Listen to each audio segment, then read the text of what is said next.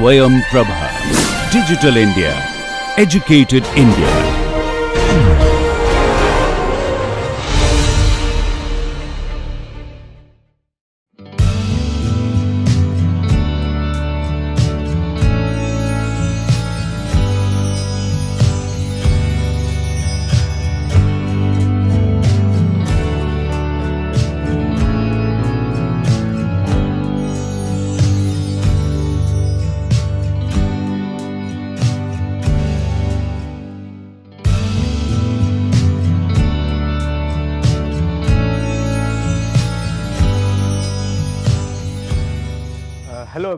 This is Dr. Vishal Trivedi from Department of Biosciences and Bioengineering IIT Guwahati and let us continue our discussion about to uh, how to generate the uh, genetically modified organism and in this discussion uh, in the previous uh, modules what we have discussed we have discussed about the host as well as uh, in the previous module we have also discussed about the different types of vector which people are using for prokaryotic as well as the eukaryotic system. During that discussion we have discussed about uh, the uh, plasmids which are being uh, used in the bacterial expression system. Then we have used about the uh, yeast, uh, uh, yeast vectors which are uh, been used for uh, overexpression of protein in the yeast and then we have also discussed about the mammalian expression vectors as well as the bacteriophage or the baculovirus vectors. And during this discussion what we have discussed, we have discussed about the many features which these vectors are providing to the uh, user and you based on these features people can develop different types of strategies to clone the foreign gene into the uh, into the vectors and then they can use these uh, uh, vectors for uh, uh, overexpressing the foreign gene into the host.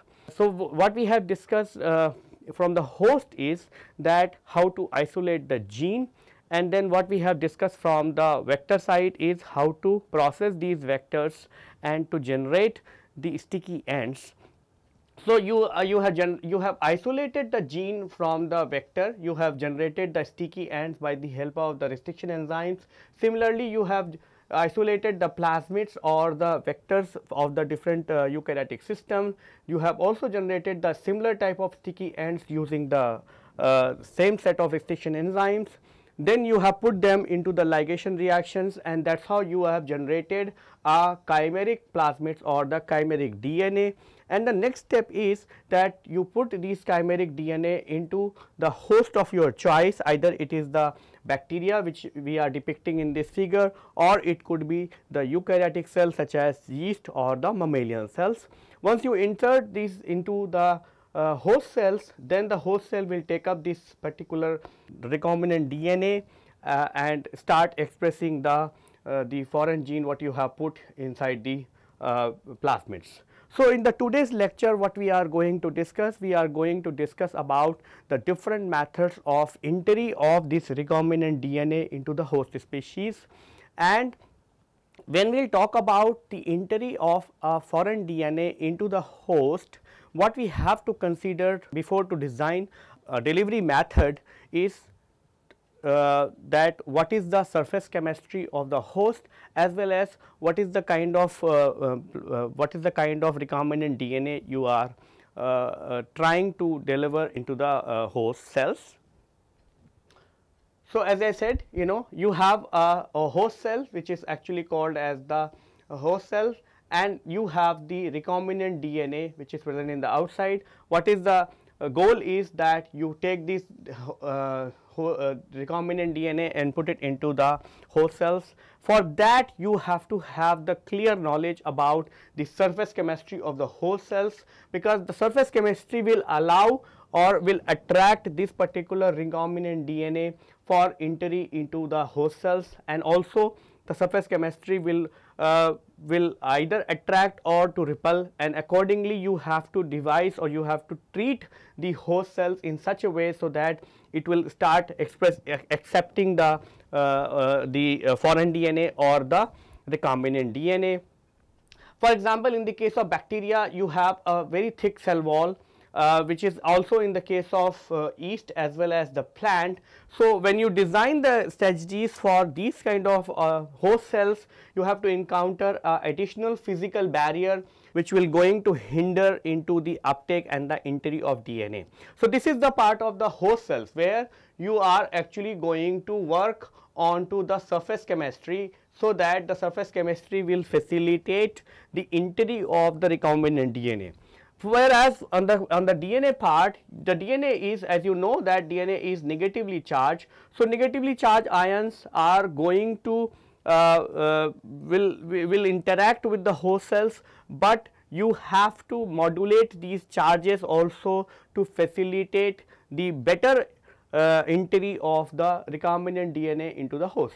But the, the, the, the first and the most important question is how the concept of delivery of DNA into the into the host cell came off. So, this actually came off from the uh, many observation where people have found that the one bacteria or one particular host cell is exchanging its material with the uh, with the neighboring cell and with the or the neighboring uh, organisms which are falling into the same species and by doing those so they are actually exchanging the uh, the good character or they are exchanging the phenotypic uh, they are also bringing the phenotypic changes into the colony. Let us take an example. For example, you have the two bacterial species. One is uh, this is the first bacterial species which actually contains a plasmid which is actually providing the resistance for the ampicillin. Okay and this particular acceptor uh, bacteria which is actually the bacteria number 2 which is also present in the colony both are these bacteria are belonging to the same species or similar kind of species for example this is also E. coli and the other one is also E. coli. So, uh, whereas it is not very important that both are belonging to the E. coli the only thing which matters actually between the donor cell as well as the acceptor cell is that the surface chemistry or the surface chemistry should be identical and the DNA what they are going to exchange with them is going to be compatible. For example, you might have this you might have remember that we have discussed in the past about the restriction methylase system. So, the restriction methylase system of this bacteria and the restriction methylase system of this bacteria should be identical otherwise the DNA what you are putting into the acceptor cell will not going to survive and will be degraded by the restriction methylase system of the acceptor DNA acceptor cell and that is why the donor cell and the acceptor cell should be of the similar species so that their restriction methylase system should be very much compatible with each other and that is how they will allow the propagation of the external DNA into their cell. So, you can imagine that the, you have two bacteria one is E. coli which is actually resistance for ampicillin and this ampicillin resistance could be because it has a plasmid which is having the ampicillin resistance gene. So, what will happen is this plasmid it will going to uh, throw into the environment and then this plasmid is going to be taken up by the acceptor cell uh, although the mechanism is not known, but that is how now this bacteria which was actually sensitive in the beginning, now it has accepted a resistance ampicillin resistance uh, plasmid and now it is all it has also uh, acquired the resistance for the ampicillin. This is just an example for uh, the resistance against the uh, antibiotics. It could be something else also. It could be that this bacteria has the enormous capacity to withstand the high temperature and that high temperature withstands uh, is because it is actually expressing some of the unique proteins which are uh, which are protecting this bacteria under the high temperature conditions and those things also those kind of factor also may be being produced by the extra chromosomal DNA which is present in this donor cell and by doing so it actually can confer this bacteria also to a uh, to withstand the high temperatures. So, it is not important that it is always been for the for the antibiotic resistance or it is always for the resistance against some kind of the external agents. It could be for uh, uh, any kind of feature for example, this bacteria might be uh, doing the sporulation better and this bacteria may not be and this bacteria will provide the factors which will facilitate this kind of additional feature to the acceptor cells and that is how the bacterias are actually exchanging their genetic material between the two cell and that is how uh, it is always been advisable you when you are working in your laboratory that you should destroy the bacterial uh, bacteria what you are using before you discard them into the uh, sink or uh, before you discard them for the uh, for you know when you throw them into the dustbin. Because all these bacteria are having the uh, extrasomal DNA which is like in the form of plasmids. And these uh, bacteria are which we, we are actually generating genetically modified could be potential target or could be potential source of spreading that particular type of phenotype into the uh, the bacteria which is present in the environment. And that is why it is advisable that when you discard any of these recombinant DNA containing bacteria or yeast or mammalian cells, you should destroy them. And that process you what you is called as the incineration which means you have to incinerate your bacterial plates or you have to uh, de inactivate the bacteria which is present in the culture media before you throw them into the sink for so that it will go into the environment, but it should not contaminate the environment so that the other bacteria will take up. Okay. How this is being discovered is that there is a history about this.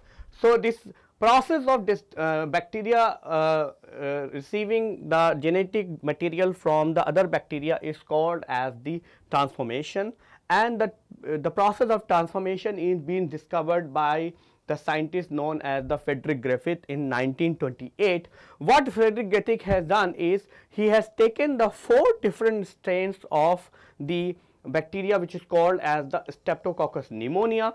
So, Streptococcus pneumonia he has taken the four strain one is called as the uh, virulent strain or the S strain. The virulent strain is causing the disease and that actually is causing the death of the mice and then he has also taken a avirulent strain, avirulent strain or the R strain. The avirulent strain is incapable of causing the disease or the death of the mice. So, what you can see is that he has done the experiment in four phases.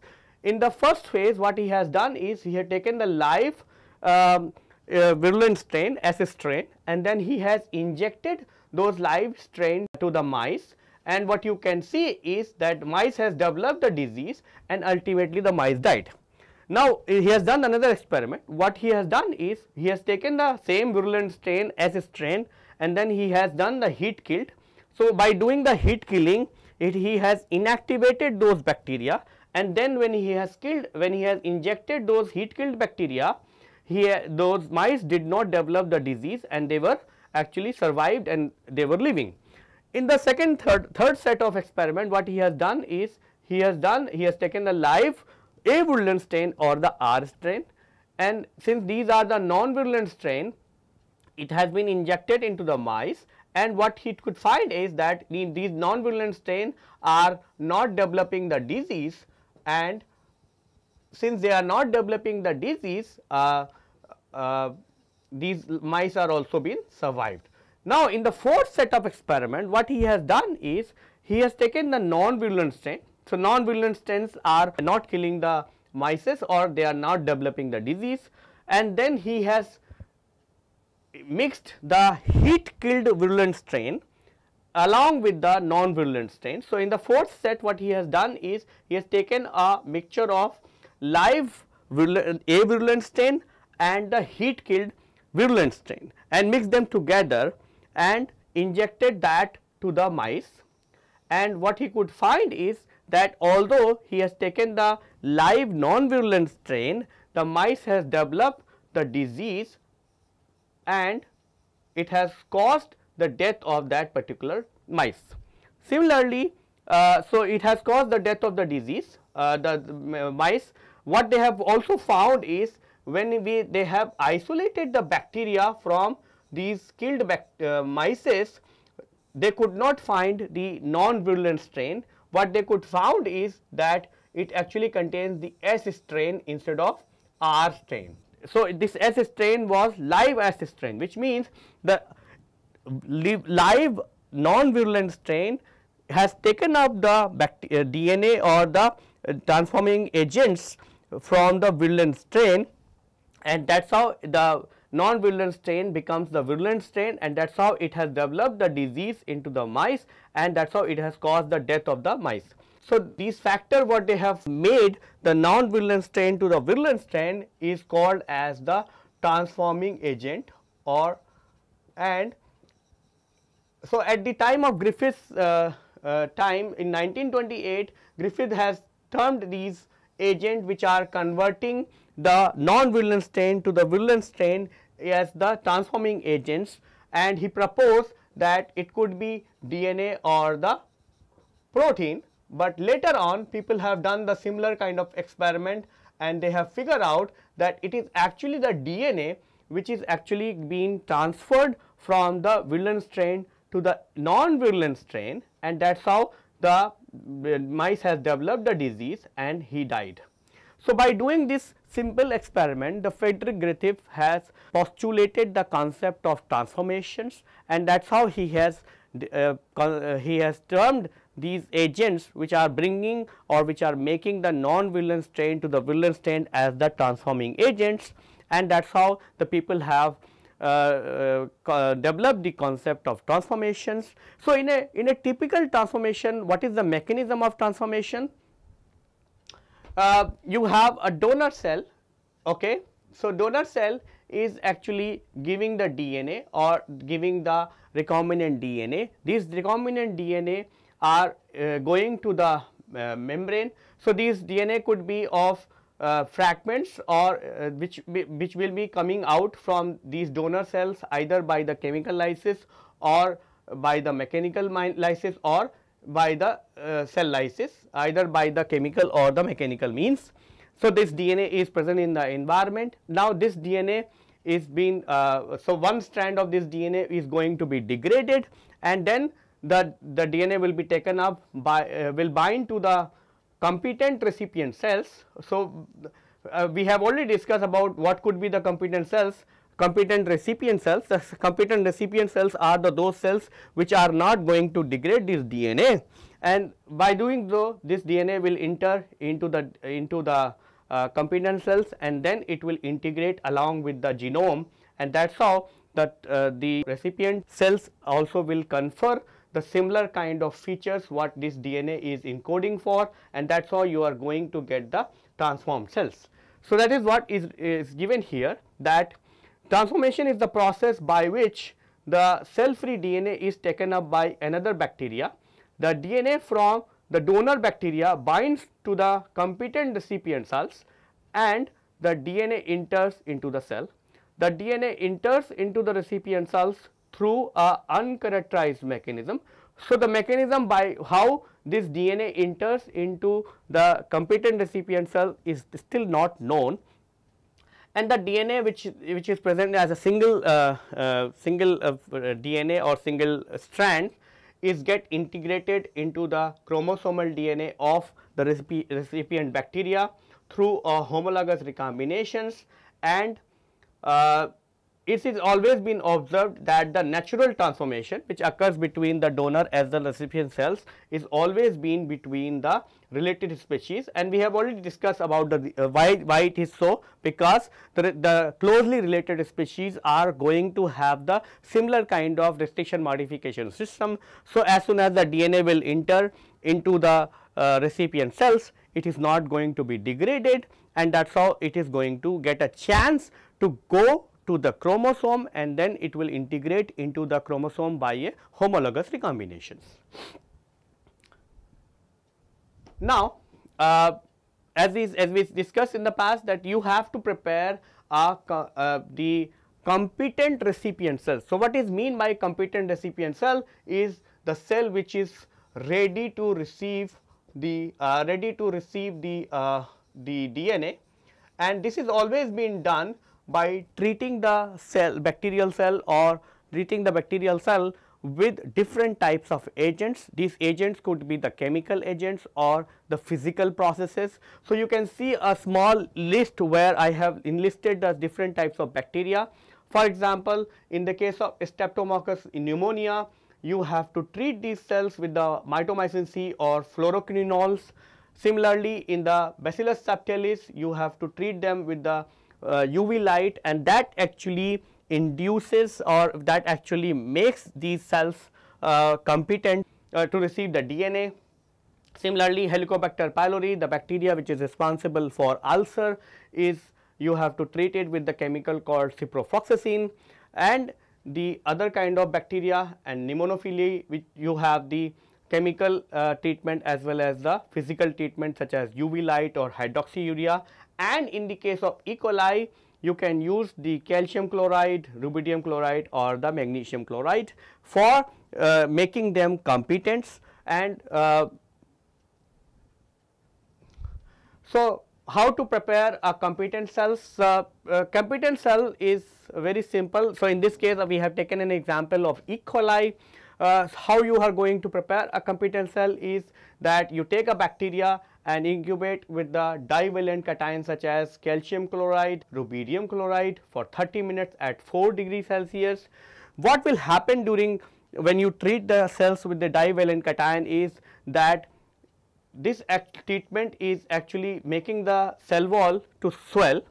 So, it actually bring the uh, uh, uh, some some kind of flexibility in the cell wall and on the other hand, it also gathers the factor which is required for the intake of DNA which is docked onto the plasma membrane. So, it actually doing two things. One, it is actually loosening the cell wall which is present in the uh, in the outside. So, once the cell wall is getting loose, you have a DNA which is actually getting a chance to docked onto the plasma membrane and once it is docking then you have actually uh, you have put many uh, factors or by doing the treatment with the divalent cation these factors are being uh, more. So, that is how the DNA will enter into the bacterial cell and but what will is important is that when you are making these E. coli cells for competent cells or when you are treating them with the divalent cations they actually and as, as we discussed the cell wall is going to be uh, loose or swell. So, because of doing so it actually becomes very very fragile. So, you have to take care of these cells after you make them competent very very sophisticated or you have to treat them very gently which means you are not allowed to centrifuge these cells at a very very high speed because if you if you if you uh, centrifuge or if you uh, uh, spin them at a very very high speed actually the these cells will may get damage because the cell wall is already uh, compromised. Okay? So cell wall is already swollen. So that's how the protection what cell cell wall provides for the bacteria to withstand the different types of shear stress and different types of harsh treatment is already gone or it is actually swelled so, you you swell to such an extent that the plasma membrane the DNA is getting access to the plasma membrane. So, because of that if you spin it at a very high speed the high speed spinning is going to give them the shear stress and that actually will eventually going to lyse the bacteria. Similarly, when you have prepared these competent cells, these competent cells are going to be pipetted into the small aliquot because you have to store them uh, for long term st uh, uh, storage or for uh, you have to store them because you have to use them in a future. So, for that you have to aliquot them okay. That pipetting also has to be done in a gentle manner so that you should not give them the shear stress. The same thing is centrifugation also is going to give them the shear stress, pipetting is also going to give them the shear stress and these are the factors which are eventually going to damage these cells and eventually going to reduce the uh, ability of these cells to take up the DNA. Uh, once you prepare these, uh, once you incubate these cells with the divalent cations, they become competent, but you cannot use them all the cells in a one goal because you are going to prepare large quantity of competent cells uh, in single day. So, what you have to do is you have to store these cells in a in a in a buffer which contains the 15 to 20 percent glycerol and then you can store them in uh, minus 80 degree Celsius and now whenever you are required you can you can take out these cells and use them for uh, the uh, transformations. So, uh, while you are preparing the competent cells you have to be little uh, careful that what kind of the bacteria you should use. So, it is the, the ability of a bacteria changes while it is going through the uh, different phases of the growth in the media and that is why it is important to choose a phase which is very very uh, efficient in take up the DNA as well as it is uh, in, uh, going to give you the better transformation. So, if you see a bacterial growth curve what you will see is that you have a lag phase then you have a log phase, then you have a stationary phase and then you have a dead phase. And all these phases we have discussed in the previous uh, lectures and their significance. So, the log phase bacteria is the bacteria which is actually very active in terms of metabolism, in terms of growth, in terms of the repair mechanism. So, these bacteria are actually very good in terms of growth, repair and they are uh, metabolically very active. So, these are the phase which you can use for making the competent cells. You cannot take the lag phase because the lag phase bacteria are still under the stress and it is actually adjusting to the new media conditions. You cannot take the stationary phase because they do not uh, these stationary phase bacteria are not growing or not very good in terms of uh, uh, growth as well as the repair mechanisms. Death phase anyway you cannot take because those bacteria are not growing and they are in the death phase. So, the log phase bacteria is good because they are showing very high growth, they are metabolically very active and the most important thing is that if you give them some kind of uh, stress or some kind of damages, they will be very good in terms of their repair mechanism and that is why they are very good in, in, in terms of taking up the foreign DNA. The bacteria in log phase is more active and efficient to perform the DNA damage and repair than stationary phase bacteria. As a result, it is preferred to use a bacteria of log phase for making a competent cell for transformation. And if you remember when we were discussing about the bacterial growth kinetics, we have said that you can actually uh, use the different types of growth measure, measuring methods to know when the bacteria will be in the log phase and that is how you can choose that particular time point or that particular growth period and that is how you can choose the bacteria for the making the competent cells. Uh, so, transformation is a multi-step process uh, in the uh, and in the first step we have already discussed that you actually will take up the log phase of bacteria and transfer to uh, and add it to the cold calcium chloride uh, solution into a ice bag and in the second step what you are going to do is once you are ready to take up once you are ready to uh, do the transformations. So, the step 2 onwards whatever you do is uh, so in the step 1 you are going to make the uh, competent cells and then you store them in minus 80 under the 15 to 20 percent glycerol. On the day of transformation what you are going to do is you take out one vial and put it into the ice buckets and then uh, you are going to incubate the uh, plasmid which you want to transform. So, in this case we have taken a plasmid which is containing the ampicillin resistance and then you incubate that with the with that particular plasmids in uh, ice for 30 minutes. So, on the day of transformation the competent cells are incubated with DNA or the circular plasmids containing resistance genes such as ampicillin for 30 minutes on ice. Then what you do is you go to the next step and that is called as the heat shock. So, what you will do is then you will give a heat shock at 42 degree Celsius for 90 seconds uh, and that actually will induce the uh, uptake of the plasmid uh, and what happen when you do a heat shock is that it actually relax the cell wall. So, it actually loosen the cell wall further and because you are putting giving a high temperature stress that actually upregulates the different types of factors which are responsible for DNA recombination and repair. So, you are actually going to give them a very short period heat shock and because of that the bacteria will respond. So, first thing what will happen is the cell wall is going to be further relaxed and that actually will allow the plasmid to interact with the plasma membrane. In, in the heat shock process sometimes the plasma membrane also becomes slightly leaky or slightly compromised and that is how the, the plasmids which are being present onto the uh, plasma membrane they get internalized into the cytosol.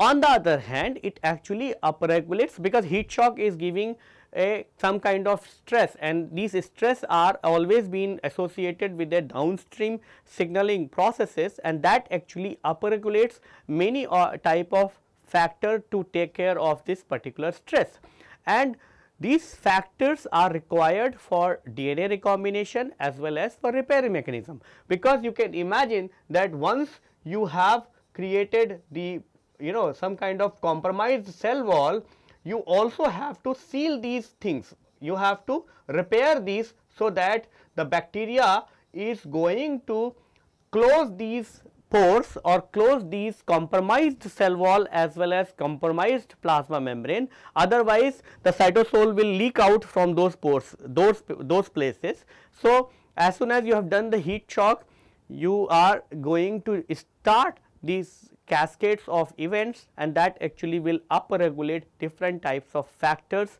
So, that these these damages which you have done into the bacterial cell will going to be repaired and it also going to induce the DNA recombination. So, that once the plasmid is inside it has a high chances of getting integrated into the genome.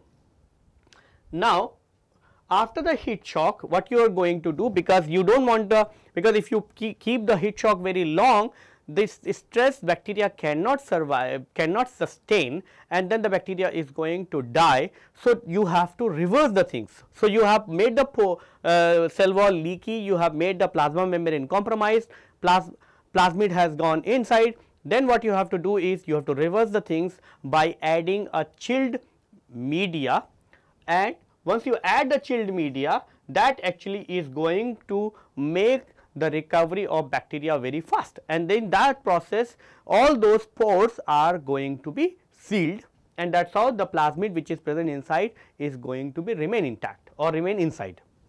Then what you do is uh, you uh, uh, you take these uh, uh, cells and plate it onto a agar plate the uh, containing the appropriate ampicillin concentration. Normally we use somewhere around 50 to 100 microgram ampicillin per ml. So, that you have to use onto this plate and then you use a spreader and you spread those cells or spread the competent cells onto these plates.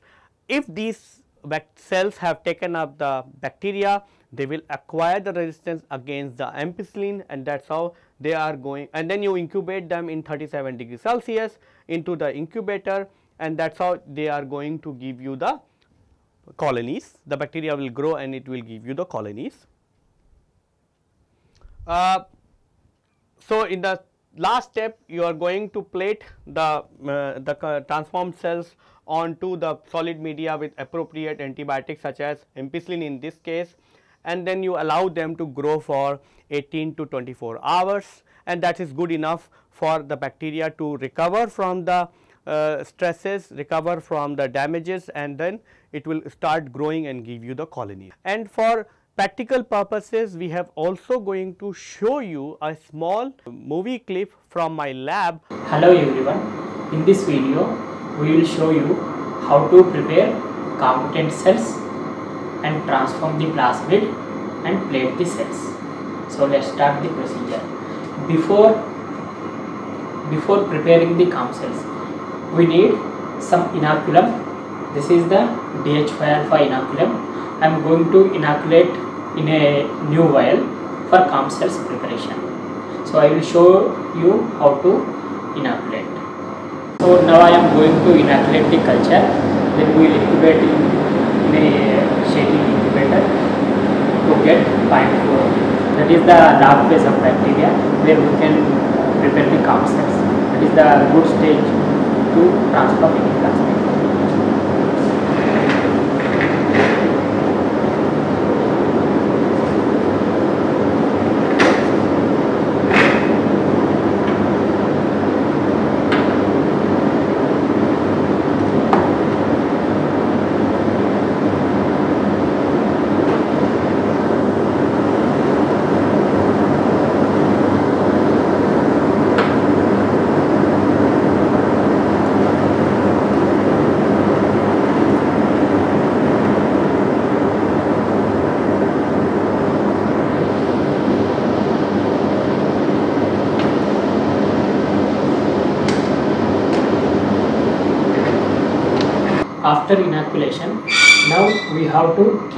Incubator shaker till we get required body so it should be 37 degrees celsius and 150 rpm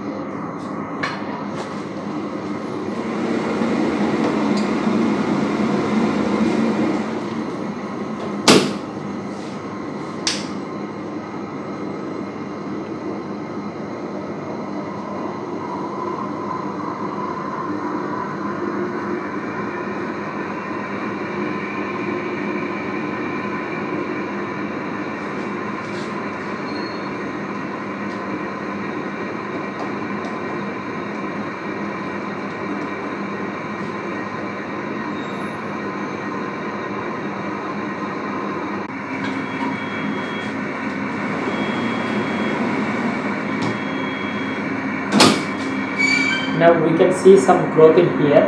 Now we have to check what is the OD of this culture. We can measure it in uh, spectrophotometer at 600 nanometer.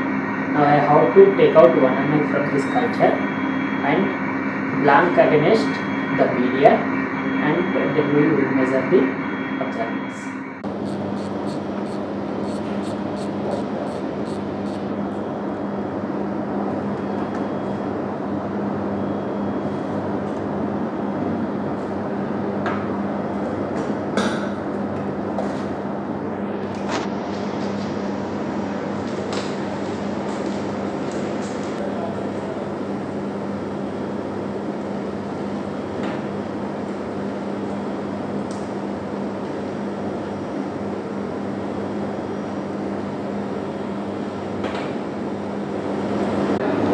I am going to use spectrophotometer to measure what is the body of the uh, bacteria culture.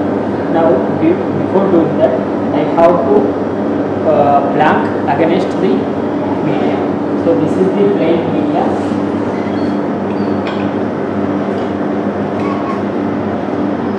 I am going to keep it and say measure zero. Now it is zero so this is our uh, inoculated culture. I am going to put this sample folder. Then ask it for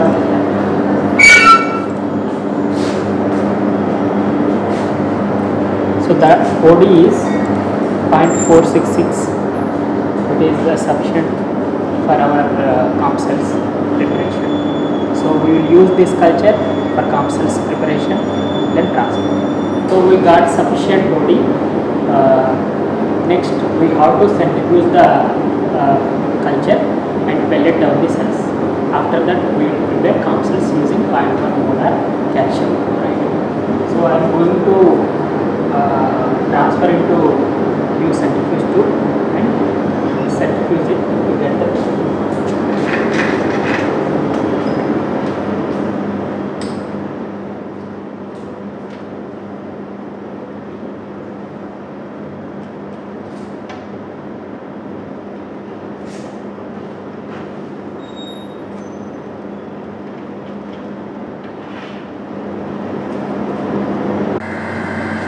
now I am going to centrifuge the culture at uh, 4000 rpm for 10 minutes So in order to get pellet.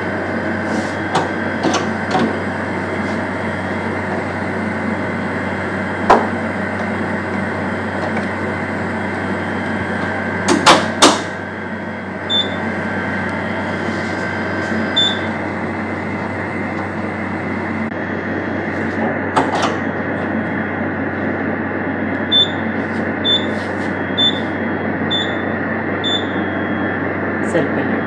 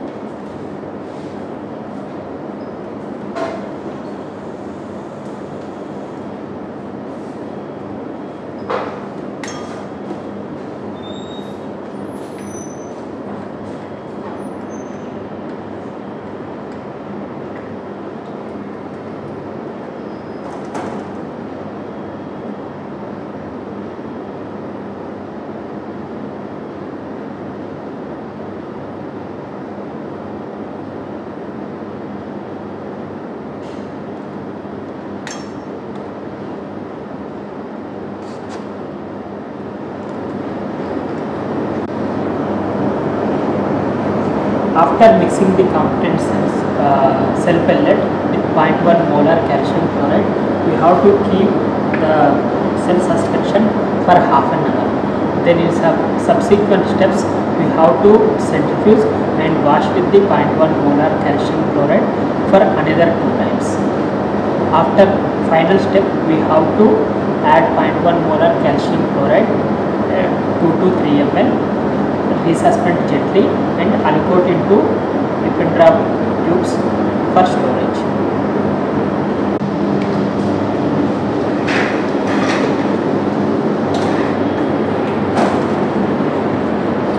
We have washed uh, in final step, so we have to mix uh, this cell pellet with the 0.1 molar calcium chloride, then we will uncoat into lipid drop tubes for storage.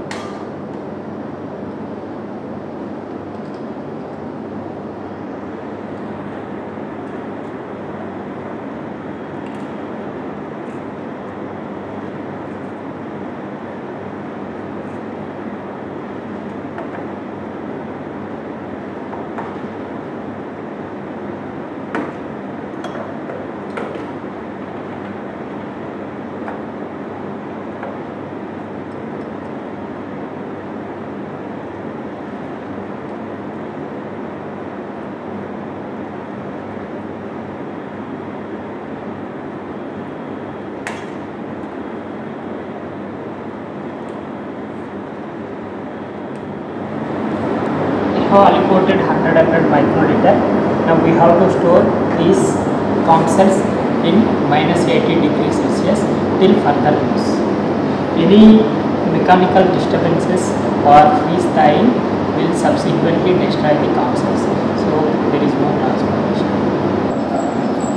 Uh, we have to add uh, plasmid in aseptic condition. So uh, we kept this comp cells and plasmid DNA inside. Now I am going to add plasmid DNA.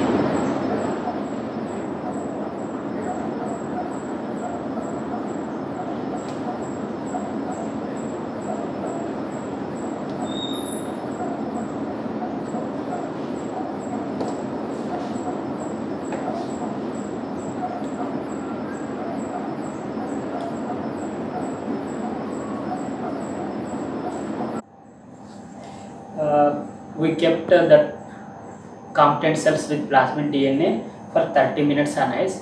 Now we will give uh, heat shock at 42 degrees Celsius.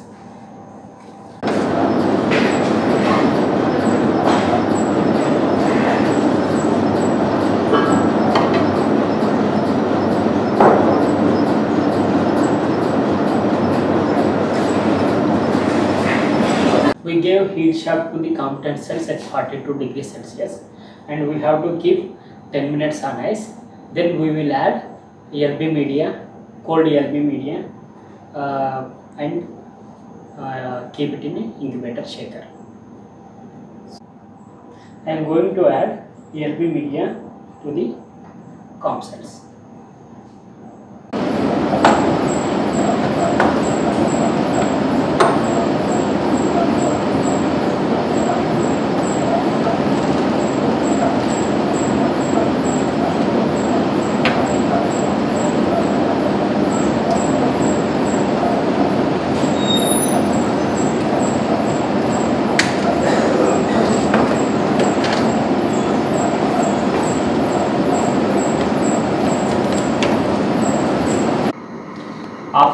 Adding media to the transformed cells, will keep an incubator shaker at 37 degrees Celsius.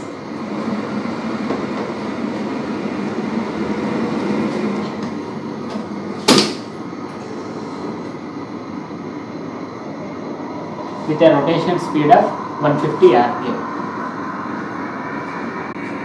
We just transformed a plasmid DNA into cells but during this procedure we have to be cautious because any mechanical disturbance to the COM cells will lead to decrease in transformation efficiency.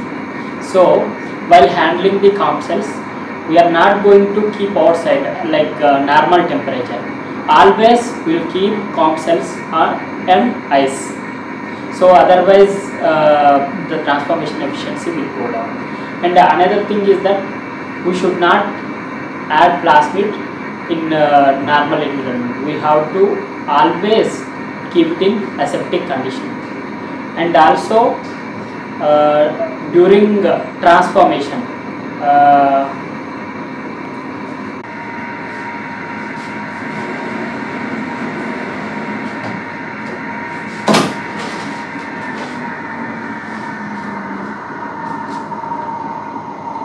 now we got sufficient growth for transformation. We will centrifuge the cells and plate them suitably.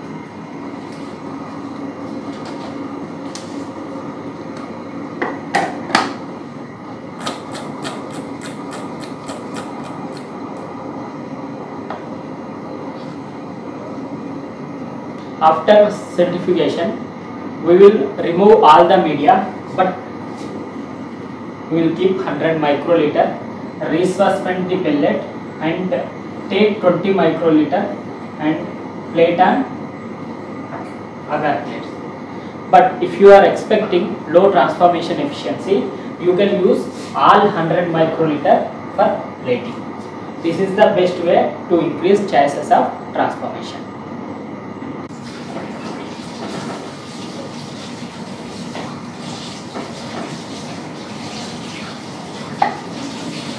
We got a pellet now we will take out the media and keep 100 microliter resuspend and we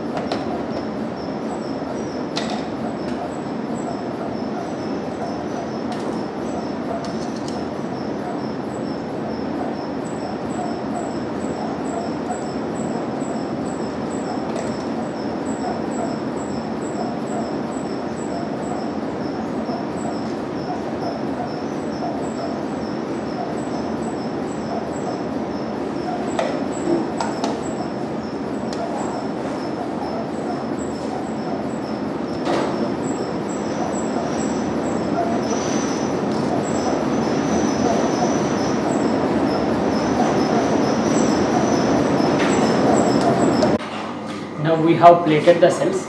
We will keep in the incubator for overnight. Then we will observe what is the how many colonies.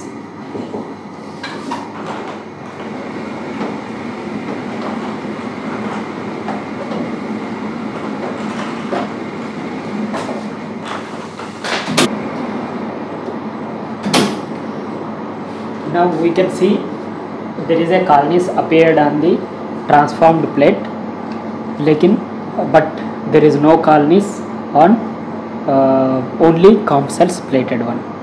So you can see colonies here.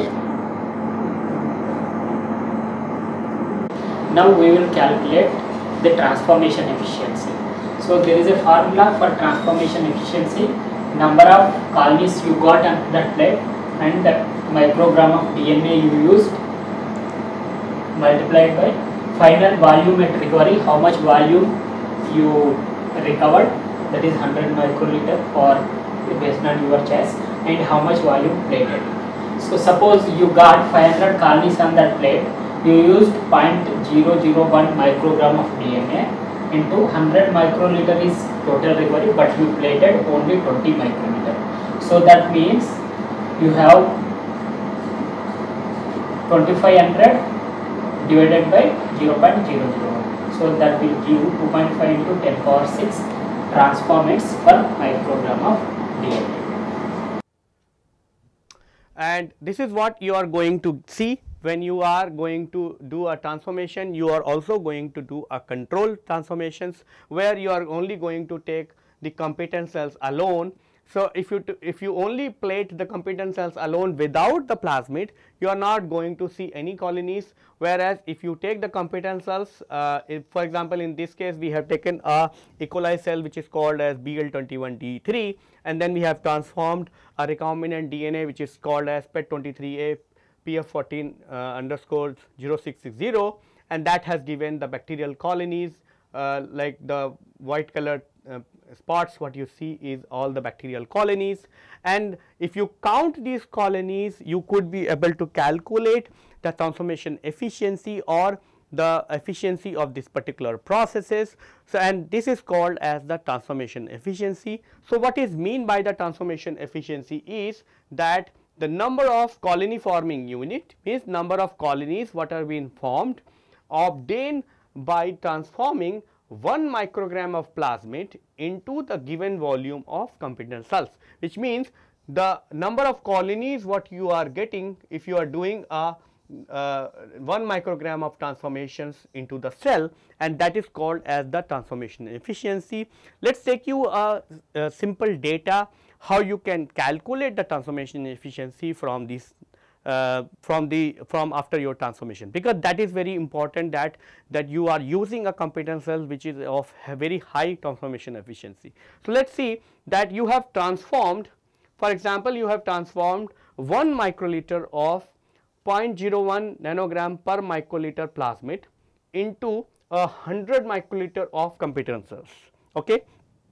So, this is what you have done and then after the heat shock you have added 900 microliter of chilled LB media to these cells uh, and the total reaction volume is going to be 1000 microliters.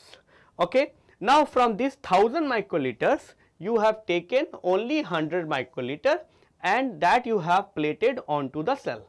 By doing though the plate then you have plate then you have taken a plate and put it into the colony counter if you remember we have discussed about the colony counter when we were talking about the microbial growth kinetics and the number of colonies what you got in the colony counter is 450 colonies. Okay. So, now let us see how to calculate the transformation efficiency. So, the nanograms of DNA what you have plated is 1 microliter into 0.01 nanograms into 100 microliter into divided by 1000. Okay.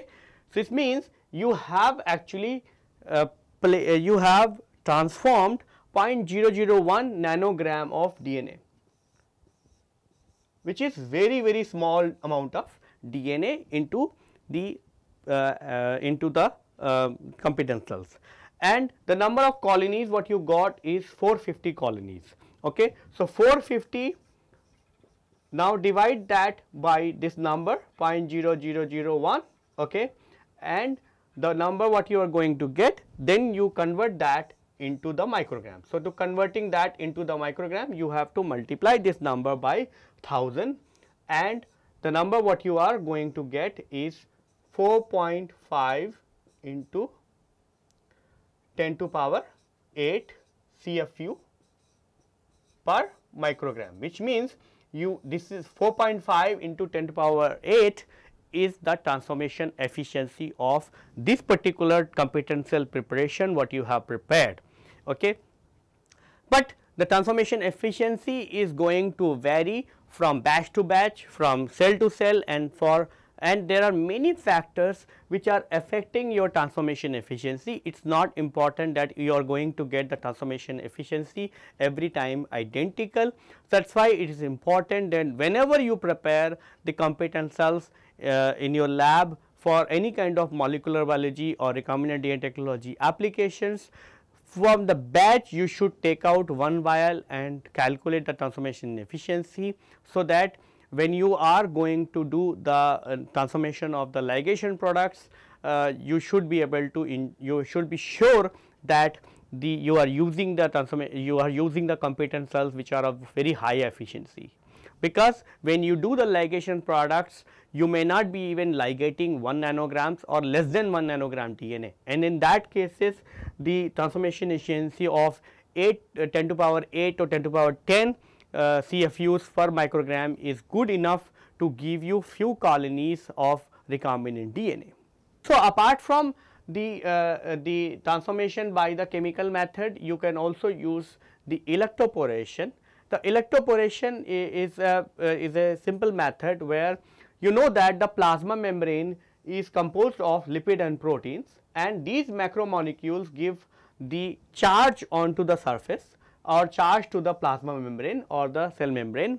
So, if you provide a very high electric pulse, uh, uh, if you provide a very high electric pulse to the cell, the charge actually runs across the membrane and because the charge is running and the uh, you have a partial charge present on the membrane that actually disturbs the arrangement of the charge onto the membrane and that actually brings lot of pores onto the membrane and that formation of the pore onto the membrane allow the easy passage of the macromolecule especially the charged molecules like DNA into the cell.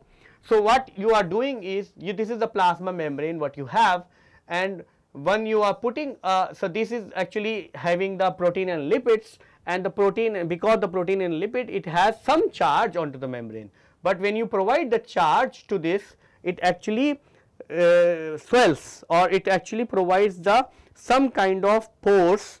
So, you can imagine that some pores is going to be formed and those pores are good enough for the entry of the DNA especially the charged particles and after the electroporations after the electroporation the cell is allowed to recover from the damage and it will form the colonies simply like the what we have discussed in the case of transformations. So, in a in a typical electroporation uh, you what you have to have is you have to provide the electroporation cuvettes and the typical electroporation cuvette what you see is look like as the uh, uh, a glass uh, cuvettes okay and in the glass cuvette what you have is uh, like the metal plates on both sides okay and you will provide the bacterial cell here between these uh, between these plates but the processing of this bacterial plate is going to be different from the processing what we have done for the uh, for the um, co competent cells uh, by the chemical method. In these cases as we said is that we are looking for the uh, the disturbance of the charge which is present on the plasma membrane. That is why when you do a preparation of competent cells for the electroporations, the, the uh, cell should be of free of salts. So, what you are going to do is that you take up the cell, you take these cells and uh, wash with wash with uh, buffer without salt. So, that uh, is the condition that you wash these E. coli or some bacterial cell with a buffer which does not contain the salts and by doing so what you are going to do is you are actually removing the cationic as well as the anionic ions which are present onto the uh, either onto the cell wall or onto the plasma membrane. So, that you are not these ions should not participate into the conductance of uh, electric fields or whatever you are going to provide because that is not what is going to be we want to disturb. What we want to disturb is the charge which is present on the uh, present on the plasma membrane uh, and which is being impart by the lipids at the well the protein. Because if you allow these uh, small ions to be present then these small ions are going to take up all the charge and they will not going to uh, pass on this charge onto the plasma membrane. And as a result there will be no expansion of plasma membrane or there will be no pore formations. So, you have to wash these cells until they are free of salts and then these cells are ready for transformation. Then what you have to do is you have to open these uh, cuvettes and then you have to put your uh, cells between these two electrodes and then you have to put it into a electroporators. These electroporators are the specialized instruments which actually give the uh, uh, current from one electrode to another electrode for a very small period of time and that is how they are actually going to give you the charge onto the bacterial cells and that is how they are going to create the pores and once the pores are being created that will take up the uh, DNA. And for practical purposes we have also going to show you a small uh, uh, movie clip from my lab how the students are performing the transformation into the E. coli. In previous video we shown that how to transform uh, plasmid DNA using calcium chloride method. In this one we will show how to use a, an electroporator for transforming DNA. So this is the cuvette for uh, we use for electroporation. So there are two electrodes placed and this is the sharp part. So we will connect here like this and all the adjustments pulse how much time we have to give the pulse all these things we can set here so once the setting is over we can keep cells uh, along with our plasmid DNA inside and then hold and we will press pulse so whatever the pulse generated, we have given the pulse that is generated inside and through the electrodes, through the electrodes it will pass us through.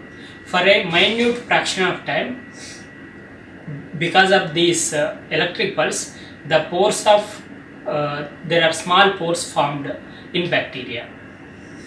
If any plasmid adjacent to that uh, cell happens, then it will enter inside the cell and quickly the pores are sealed.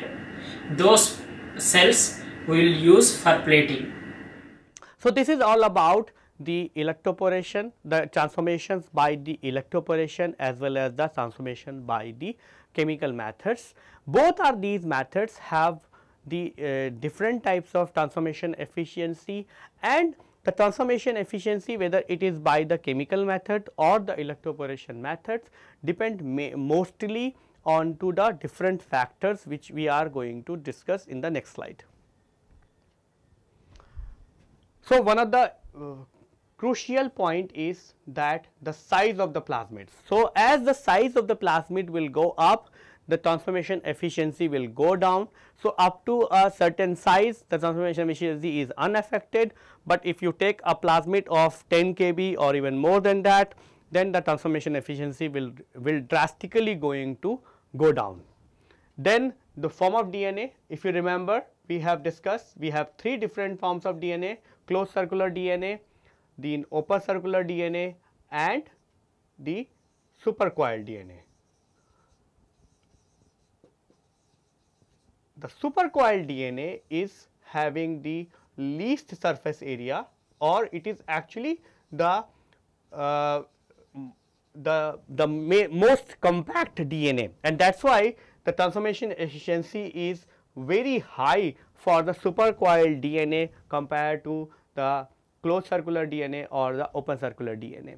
Then there are the uh, different there are bacterial strains which are competent enough to take up the bacteria uh, competent enough to take up the particular type of plasmid. For example, in the case of E. coli K12 strand, it has the 4 to 5 times more efficiency than to the similar strand without uh, the similar kind some kind of genetic genetic uh, uh, background. Uh, for example, for linear DNA which is poorly transformed. So, compared to the closed circular DNA you the linear DNA is not getting transformed very efficiently in E. coli, but if you have the E. coli strain which have the uh, mutations for the these two genes REC BC or REC D then it actually improves the transformation efficiency very significantly. Then this is already we have discussed if you are preparing a competent cells you always have to try to use the log phase cells. Then the methods of transformations you have what we have discussed we have discussed about the calcium chloride method and we have discussed about the electroporation.